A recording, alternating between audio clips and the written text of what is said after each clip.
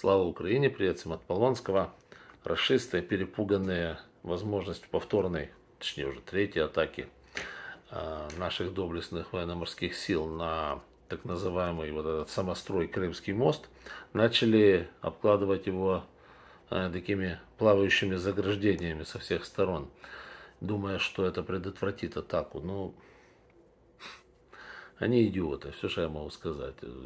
Знаете, вот эта штука могла предотвратить атаку в веке. Вот такая, знаете, здоровая, там плавает байда, длинная такая, которая не дает якобы типа цепи, такой, цепь, не цепь. Такой. На батарею, похоже, она плавает, да. Такая штука могла предотвратить э, нападение врага, довольно глупого, кстати, где-то вот в 15 веке, там, в 16, 17, да, когда она ограждала. Вот турки перекрывали залив Золотой Рог в свое время там в Стамбуле. Было дело от казацких чаек, еще от других. Сейчас такие вещи, ну, в принципе, может сработать, но если ты о ней не знаешь. Но в общем и целом не сработает, конечно. Там, по целому ряду причин можно, конечно, обойти его и я не имею в виду объехать, хотя объехать тоже можно, но имею в виду нейтрализовать эту штуку. Вполне, вполне реально. Э, единственное, что это показывает, это показывает э, тупую, э, тупой страх расистов насчет того, что Крымский мост упадет. Он обязательно упадет, это без вариантов. Мы его все равно снесем.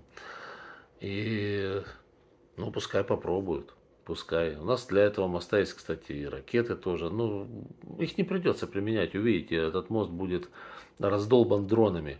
Вот им морскими, да. Им сейчас кажется, что они их таким образом остановят, вот этими заграждениями. Ничего не выйдет, увидите.